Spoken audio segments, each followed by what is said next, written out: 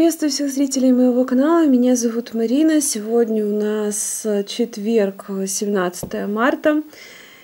И мы с вами приступаем к съемке очередного видео, очередных двух дней.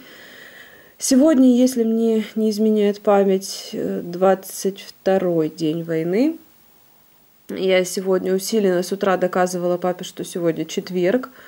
Он говорил, что пятница. Я говорю, нет, четверг. Ну вот, как-то так. На самом деле, действительно, уже ни дни недели не помнятся, ни даты, вообще ничего. У нас сегодня ночью опять э, на жилой дом упала э, ракета, части сбитой ракеты – я как только начинаю снимать видео, сразу срабатывает воздушная тревога. У меня просто, как я не знаю, часы можно по мне сверять. В общем, походу сейчас кто-то пойдет посидит в коридоре. А, я продолжаю заниматься разбором бисера. Вот такое вот у меня тут на столе так вот у меня обстоят дела. По кучкам разложено то, что уже разобрано. Решила я потратить э, чрезвычайно большое количество свободного времени, хоть как-то немножко с пользой. Вон сколько красного у меня будет. По итогу освобождаются пакетики, потому что очень много одинаковых номеров – конечно, не очень весело, мягко говоря, понятное дело, но держимся, держимся. Иначе не может быть. Очень верится, что скоро мы сможем прогнать эту орду с нашей земли и займемся восстановлением всего того, что они тут набомбили. Так, пойду-ка я посижу в коридоре. Э, буду вам, я думаю, в течение этих двух дней рассказывать э, о продвижениях моих глобальных планах по реорганизации всего этого добра.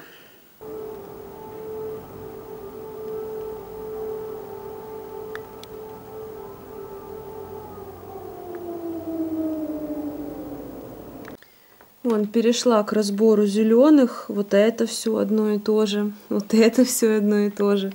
Вот это все одно и то же. Тут вот тоже три штуки. Но посмотрите. Вот взяла я. Да. Вроде такие похожие цвета, но все разные. Пять штук, и все разные реально оттенки, просто какие-то оттенки. Но все разное. Ну, ничего страшного. Столько у меня тут красоты. Вон, смотрите, а тут какой красивый.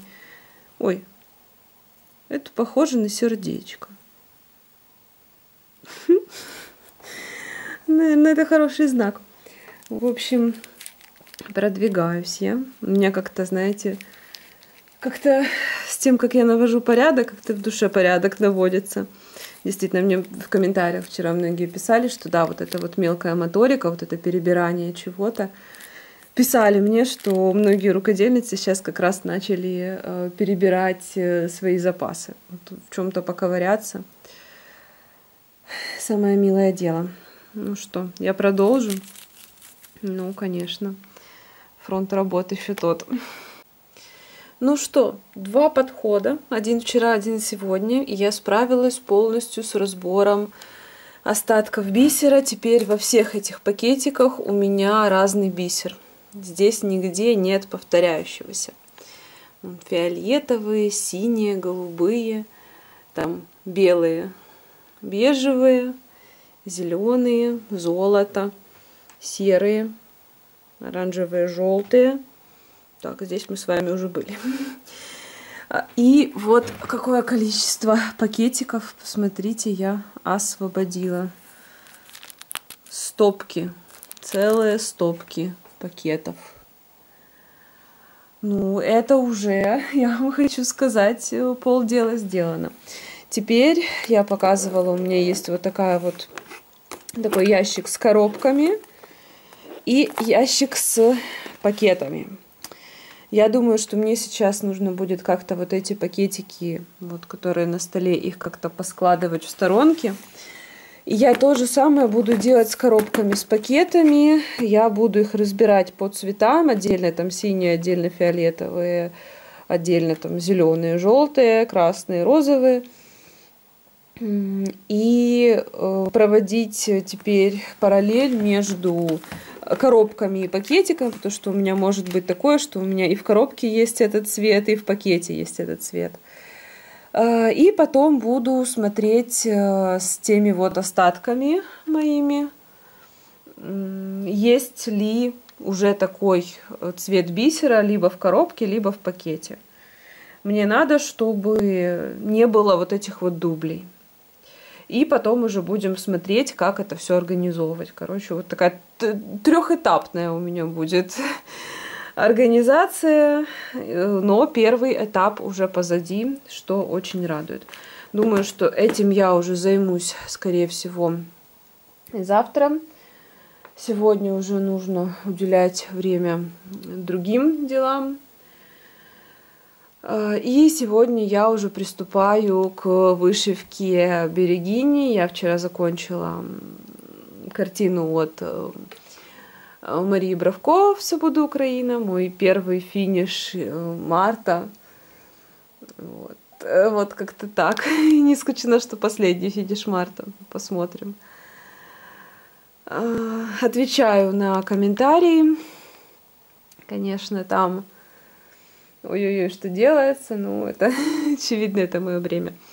Э, но такой был комментарий, очень интересный, очень показательный, как мне кажется. Э, написала э, девушка какая-то, что если вы вышиваете, значит не так там все у вас и плохо.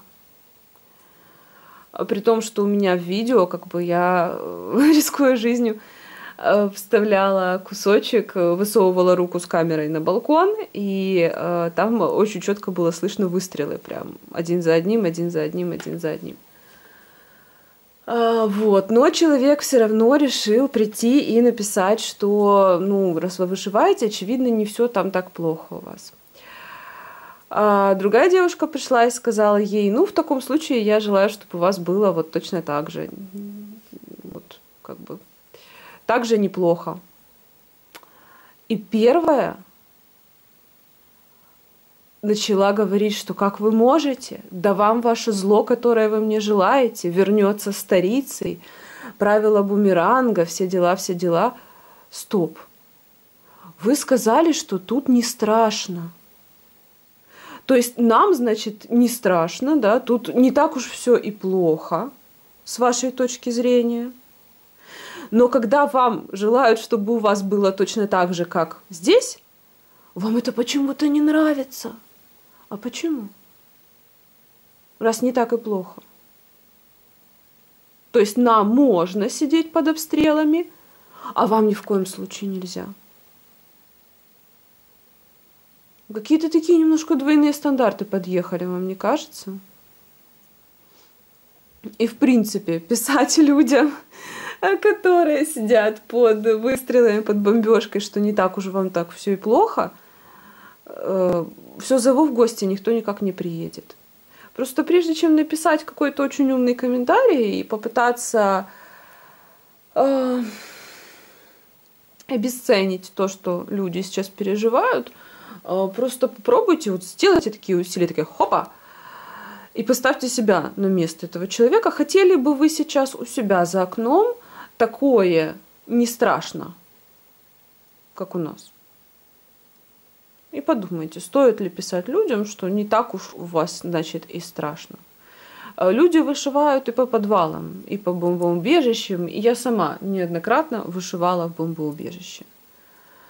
Э, это не значит, что э, не так уж и плохо. Это значит, что человек все еще жив странные у людей представления о войне, и оно-то, наверное, слава богу. Вы, очевидно, просто, простите за мой французский, ни хрена не знаете о войне. А, поэтому вам кажется, что война — это постоянное, перманентное, с первой до последней секунды, какой-то ужас, я не знаю, разрушенные дома, страх и кошмар.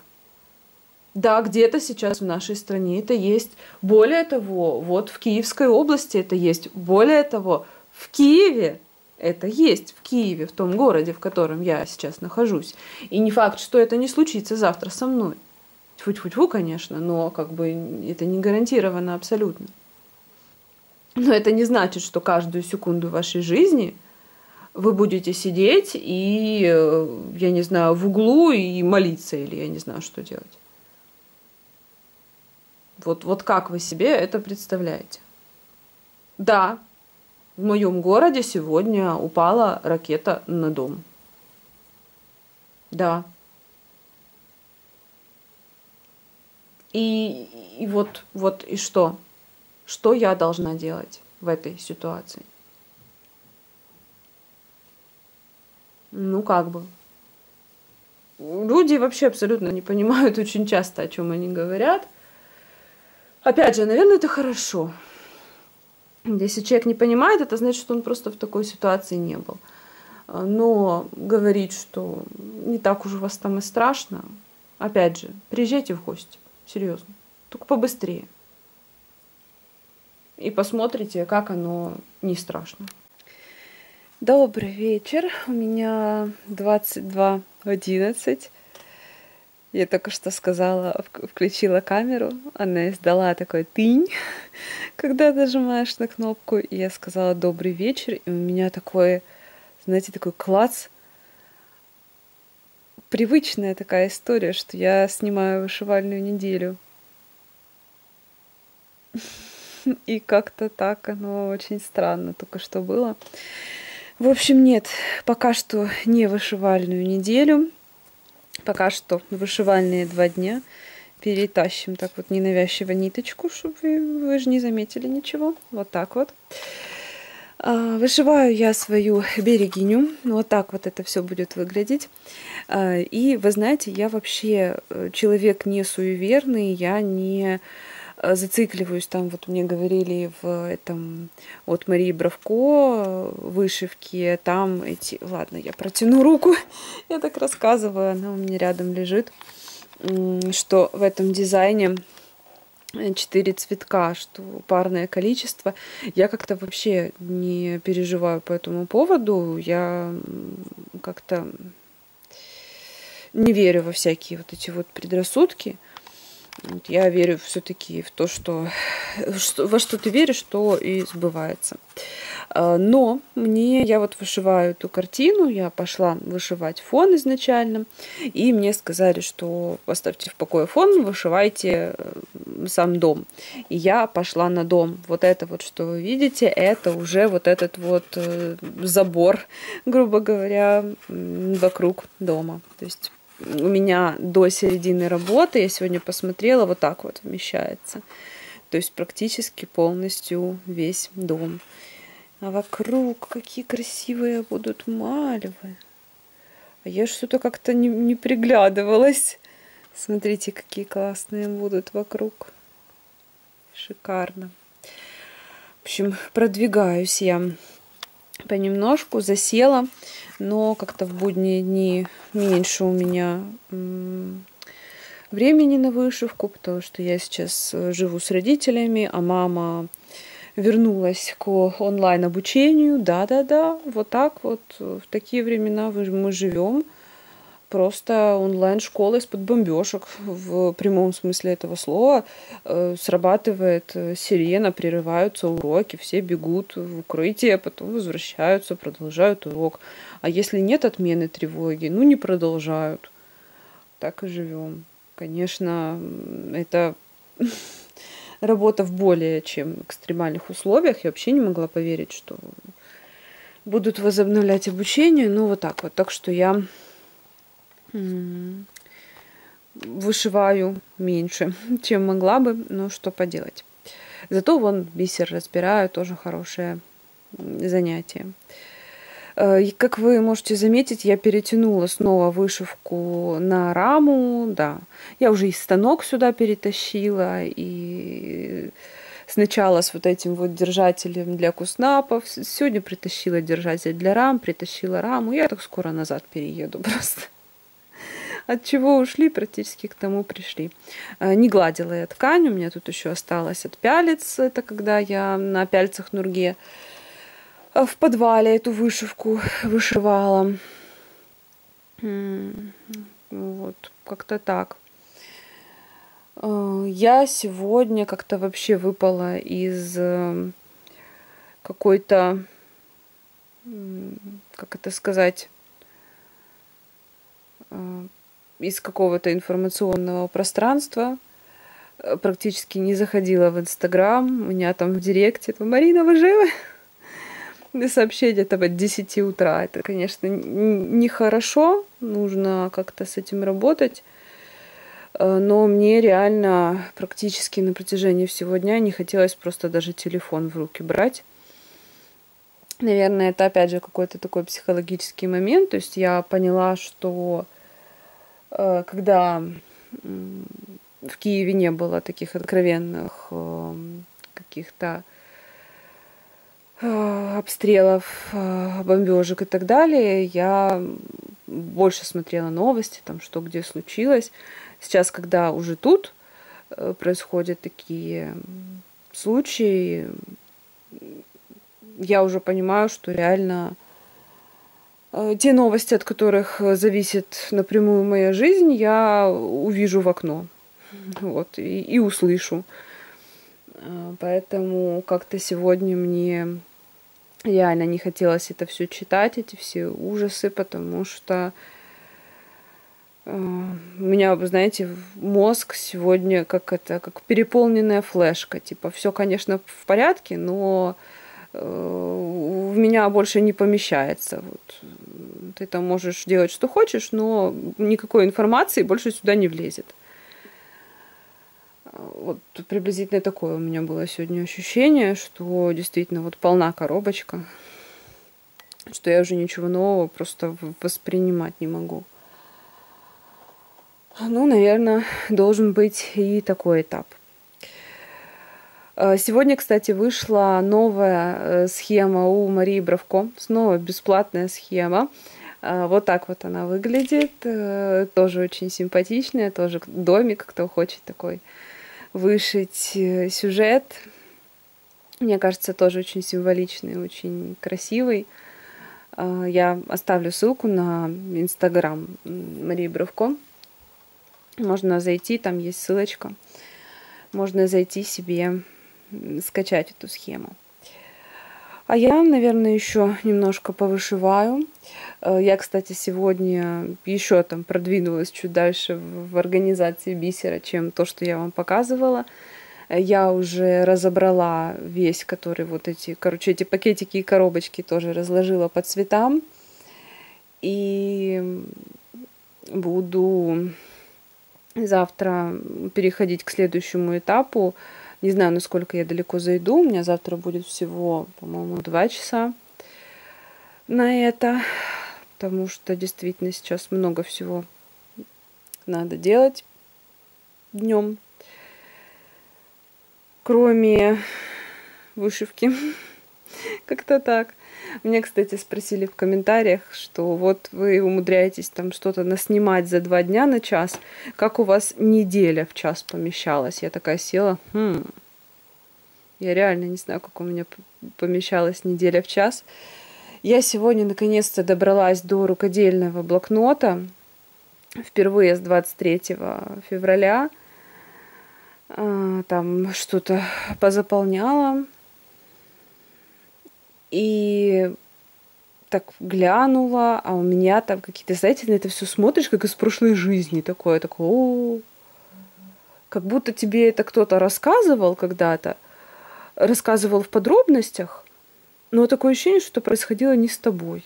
Я смотрю эти там у меня итоги за зиму расписаны, прям за декабрь, за январь. И так вот за февраль там даже есть. Там как-то все так подчеркнуто, как-то все так расписано, все, все приклеены эти эм, картинки. Как ты так это смотришь, такой, это же сколько нужно вкладывать каких-то эмоциональных сил туда, в это вот, вот это вот все делать, заниматься этими блокнотами, этими всеми красивостями. Ну, я надеюсь, что скоро мы снова будем этим заниматься. Вы знаете, я продолжаю заполнять свой э, пятибук. У меня уже какой год? Седьмой, наверное, да. Уже седьмой год я веду э, пятибук. У меня есть два видео на канале об этом. Э, самое-самое первое. И вот э, два года назад, получается, или ну, чуть больше года назад, э, о втором и о, в принципе, итогах пользования первым, первые пять лет.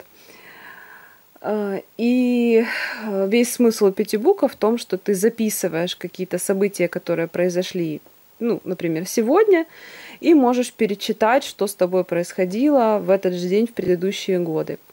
И я всегда это все перечитывала, и мне реально это было очень интересно. Там, ну, вообще интересно, очень часто какие-то события происходят циклично, там, из года в год в один и тот же день э, посещают какие-то одни и те же мысли, даже без какой-то особой на то причины. То есть это не какой-то там памятный день, а, а вообще просто вот какие-то мысли витают в воздухе и в одно и то же время тебя посещают. Э, но сейчас, э, да, я записываю, я не записывала очень много дней. Я не знаю, дней 10, наверное, если не больше, наверное, даже больше. Потом я села просто за раз, вот как бы все эти, во всех этих десяти окошечках там позаписывала там что-то с памяти. Уже сколько-то дней записываю в режиме реального времени. Но я не перечитываю предыдущие годы вообще. Я пробовала, и то, что я там писала, мне кажется такой какой-то ерундой. То есть я смотрю, я там пишу, что у меня там то да то, а я сделала то и то, и там, а планирую еще то и то, а хотела вот то, а потом столкнулась с вот такой вот, значит, проблемой, а как же я вот это сделаю, а как же я там то успею. И я это все несколько дней реально пыталась перечитать. И я смотрю на это, думаю, боже. Знаете, я очень не люблю, вот в принципе, по жизни фразу «мне твои проблемы». Это на самом деле ужасная фраза, потому что обесценивает просто напрочь за секунду все, чем человек с тобой поделился. Вот что-что я стараюсь никогда в жизни не делать, и никогда этого не делаю. Это у меня вот, вот прям железное правило, вот прям железобетонное. Кто бы чем со мной не поделился в жизни, я никогда не скажу мне твои проблемы. Потому что это, ну, это жутко. То есть человек тебе прям изливает душу. Если он тебе это говорит, значит, для него это проблема. У всех разная психология, у всех разный какой-то порог болевой. Поэтому я никогда этого не говорю. А, и, конечно, очень неприятно, когда такое говорят мне. А, но вот я перечитывала вот это все, и у меня возникла эта мысль, вот я сама, самой себе сказала, мне бы твои проблемы. Вот то, что еще реально год назад казалось чем-то значимым, весомым. И мне интересно, как долго будет сохраняться вот это вот ощущение после э, победы, после окончания войны, как долго будет сохраняться вот это вот ощущение мелочности чего бы то ни было по сравнению с миром, по сравнению с добром, взаимопониманием, взаимоподдержкой, э, по сравнению с человеческой жизнью. И будет ли это на всю жизнь, или потом мы начнем снова, нас начнет засасывать вот это вот бытовуха, это рутина, и мы начнем снова считать проблемами то, что на самом деле не проблема. Вообще не проблема. Ну, я надеюсь, что мы это узнаем через какое-то время на собственном опыте. А, пока что мысли такие. Вышиваю я свою берегиню. Ничего другого как-то сейчас, если честно, даже не хочется. Но и одновременно сидеть очень долго за вышивкой, и, и времени не особо, и как-то я стала гораздо менее усидчивая, чем была. То есть я очень плохо на чем-то концентрируюсь, в принципе. Сейчас, ну, ничего, потихоньку. Так что пойду я еще немножко повышиваю. И завтра с вами встретимся. Я думаю, что э, на очередном этапе разбора моего бисера. Доброе утро. У нас 18 э, марта. Обход убежища закончен. Все в порядке. Никого подозрительного, ничего подозрительного. Сейчас буду закрывать. Он как пригодился мой этот от шезлонга балконного. Вот это вот штуковина. Пожалуйста. Кстати, старые пододеяльники, простыни и всякое добро тоже очень сильно пригодилось. Я и до этого не очень любила что-либо выкидывать после всех событий. Мне кажется, я выкидывать не буду никогда и ничего, потому что все это можно сюда было притащить. Какой-то старый тоже пододеяльник, которому сто лет в обед, он подшитый каким-то чем-то. В общем, благодаря тому, что реально не выбрасывали даже самое какое-то стрёмное, э, было, было что принести. Красочно висящий носок. Я пробовала спать на каремате изначально, но идея провалилась. Очень больно, жестко очень. Так, пойдемте с вами немножко бисер поперебираем. А еще у нас есть вот такая вот милота, записка «Заберите меня или полейте, пожалуйста». Тут, очевидно, был цветок. Но его забрали хорошие люди. Когда я вам говорила, что я вчера подготовила себе все к разбору бисера, я не шутила. Я таки, да, подготовила.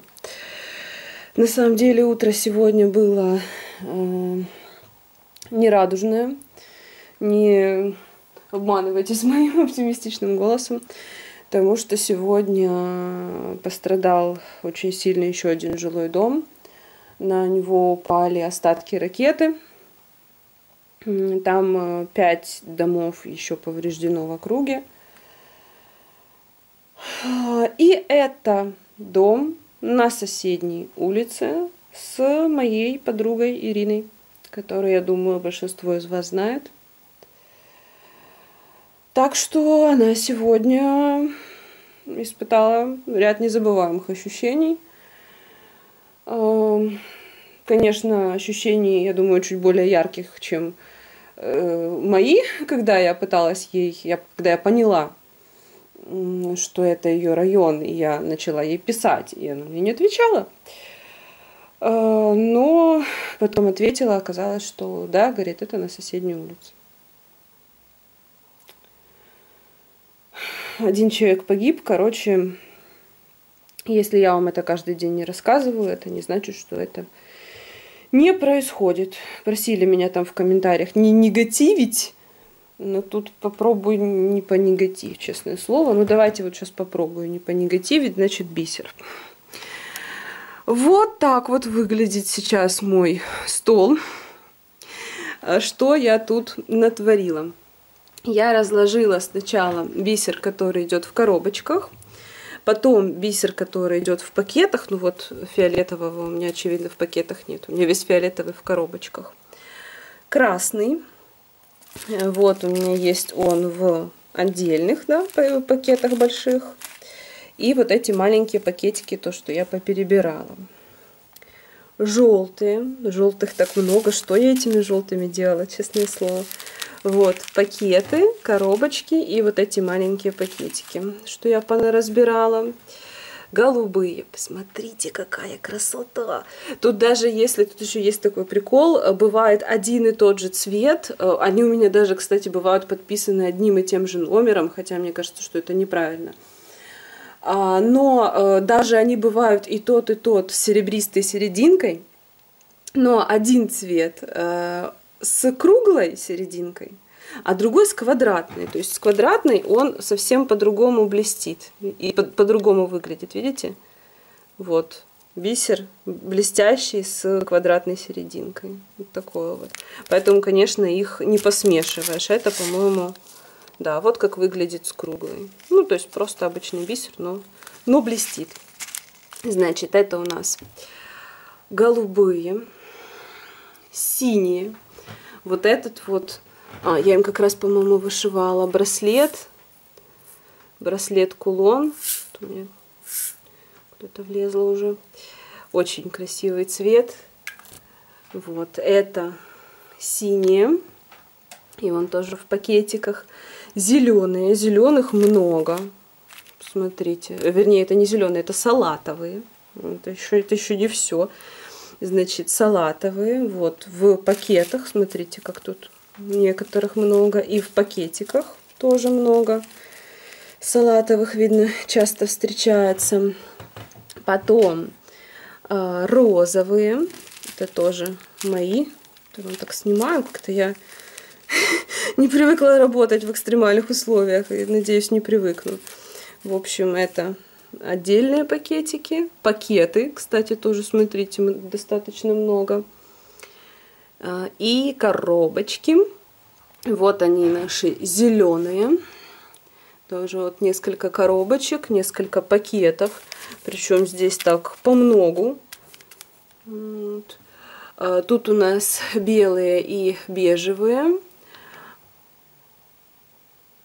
стреляют. Э, серебристые. Вот. Э, тут серые. Даже не помню, куда они у меня шли в таком количестве, что я вам явно 50 грамм серого приобрела. Так, тут у нас черные. Тут у нас э, оранжевые. Тоже такие красивые вообще просто. Посмотрите.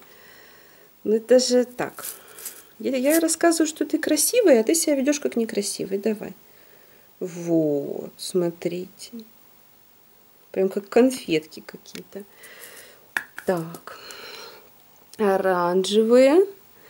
И всякие коричнево-бежевые. Как видите, этого добра у меня тоже вот куча.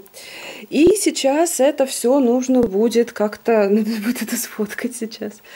В общем, это как-то надо будет сейчас разбирать. Буду брать один какой-то цвет и, соответственно, ну вот, например, красный. У меня, кстати, здесь еще какая-то вот такая вот история. Мне кажется, это браслеты. Вот. А строчки, которые я... Браслеты и кулоны, это я номера бисера расписывала, скорее всего. У меня тут еще есть бисер Милхил. И у меня еще есть какие-то вот такие крупные бусины. Я даже не помню, откуда они у меня взялись. Но это реально куда-то на глаза какие-то может подойти, знаете. А вот эти вот браслеты и кулоны, у меня остался один набор, и я его, кстати, э, так достаточно часто ношу. Вот, я принесла это как раз тот бисер, который я вам говорила. Вот видите, такой переливающийся, с такими бензиновыми разводами. Такой вот у меня остался браслетик. Я долго искала э, замочек. Так, он тут, отстань. Вот, магнитный. Э, на 5, по-моему, да, этих крючочков. В общем, вот так вот выглядит с другой стороны. Э, и очень легко его надевать, потому что просто одна вот эта часть э, засовывается в другую часть. То есть не надо никаких э, этих, ну, конечно, левой рукой то еще. Я обычно. Так, сейчас мы попадем. Это было бы просто очень долго. В общем, вот так вот одна часть вставляется в другую, и так раз, и все, и застегнул. Очень удобно. Э, и можешь самостоятельно надеть, самостоятельно снять. Такая вот история. Эть, вот, просто поддеваешь и все. И вот такой вот кулончик. Тоже смотрите какой. Руки дрожат. Как будто я пила. Я не пила. Что самое обидное. Вот, смотрите, какая красота. Я тут еще по краю как-то обшила. Как я это сделала? Она еще лежит так ровненько относительно. О, я не знаю, как я сделала. Ну, как-то сделала, как видите. Тут такая вот штучка. И покупала я, по-моему, в магазине Монпасье. Ай, магниты, магниты. Ну, вот такие вот шнурочки, подвески. И ношу с другой стороны фетр. Вот так вот. Так что вполне себе такие прикольные вещи. Ну что, возьмусь я, наверное, за разбор у меня сегодня немного времени, где-то еще часик, наверное, всего лишь. Ну, хоть что-то, хоть что-то разберу. Э, и самый финальный этап потом будет, э, самый интересный, это э, пересыпание пакетов в коробочки. Я, кстати, определила у меня 50 коробок. Мне кажется, мне должно хватить. Надеюсь. Э, в органайзеры, если небольшое количество бисера, и наклеивание наклеечек, мое, мое самое любимое наклеивание наклеечек. Так что попробую сейчас э, поработать в этом направлении. Ну что, я, можно даже сказать, э, половину сегодня сделаю. В общем, я уже перебрала голубые, фиолетовые, красные, желтые. Сейчас заканчиваю перебирать зеленые. Смотрите, какая интересная ситуация. Смотрю, а, это явно от волшебной страны. Я подписывала, вот единственное, что мозгов хватило, прям если бы я даже этого не делала, я не знаю, чтобы я сейчас, как бы я выходила из ситуации. В общем, я на вот этих вот наклеечках подписывала, видите, номер бисера. Вижу 57 220. Вижу, что салатовый с квадратной серединкой. Ищу по своим коробочкам. Вижу 57 220. Беру его, Э, открываю. Брюки превращаются. Так. Открываю. Смотрю тоже, пожалуйста. 57, 220, 318 еще написано. Смотрю. Цвет один и тот же. Но здесь, видите, квадратная серединка, а здесь круглая. Номер тот же самый. 57, 220. Лезу я в свои эти листочки с распечатанными номерами. И что я вижу? Я вижу два номера 57 220 только по нумерации ВДВ а круглые квадратные серединки присвоен разный номер. То есть получается таки, да, круглая это у нас 318, а квадратная это у нас 479. А так номер абсолютно такой же. Ну, понятно, что их смешивать не надо. Так что вот такие вот еще бывают нюансы. А, есть у меня уже небольшой урожай вот пакетиков, э, которые были, такие я повсыпала. А, но, кстати, я э, проверила, сколько влезает в одну вот эту коробочку. У меня, конечно, есть ювелирные весы, но я сегодня представляю, как это взвесить. Э, в общем, где-то максимум 15 грамм. Вот в эту вот. Я всыпала какую-то, по-моему, вот эту коробочку. Здесь 25. Вот она наполовину заполнена, а я ее всыпала, она помещается. То есть в одну вот эту ячеечку влезет максимум 15 грамм. Вот так. Э, ну что, я думаю, что это практически все, что я успею сегодня сделать с бисером. А, кстати, еще такой лайфхак, идея. А, мне сбросила зрительница, за что ей огромное спасибо, сбросила, она для себя делала таблицу бисера в Word.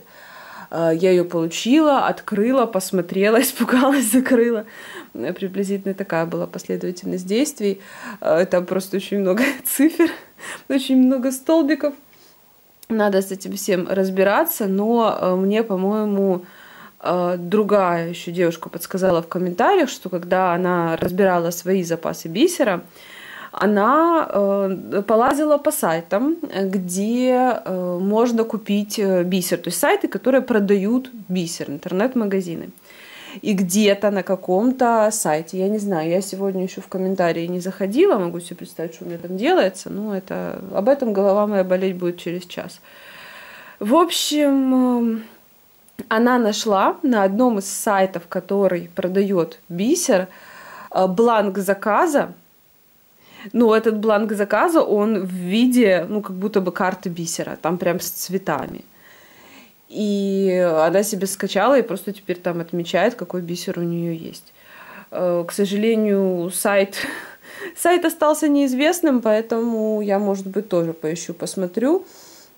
Или просто действительно буду вносить в таблицу. У меня просто здесь есть э, всякие неопознанные объекты, к сожалению. То есть бисер в пакетиках, который э, не подписан. Ну вот типа вот, вот в таком вот виде. Два. Два. И все. Ну то есть это от тех наборов, где не, было, не были указаны номера бисера. А с ними буду как-то позже разбираться, не знаю ну, в смысле, позже, но в этот же заход я хочу прям довести все до логического конца. А, ну, в общем, пока что, пока что я на таком этапе. Добрый вечер. А, нет, не 10, не 9, даже не 8. Я сегодня стала на путь исправления и решила выложить вам видео э, не среди ночи, а как-то чуть немножко пораньше, полседьмого у меня. Э, закругляюсь я на сегодня с видео. Как вы видите, я продолжаю строить дом. Я абсолютно игнорирую вот эту вот часть работы. Я пошла вверх здесь. Уже почти 500 крестиков я за сегодня вышила. Вообще эта работа, несмотря на то, что тут эм, все-таки такой разброс, э, не слабый, но как-то идет э, несложно. Как-то вот садишься, и оно достаточно быстро продвигается. А, так что на этом, наверное, буду закругляться. Э, увидимся с вами, надеюсь, через два дня. А, бисер мы, наверное, в следующем видео разбирать не будем, а, но, возможно, я что-то интересное придумать смогу. Так что спасибо всем большое за внимание. Удачи вам, творческих успехов. Берегите себя. Пока.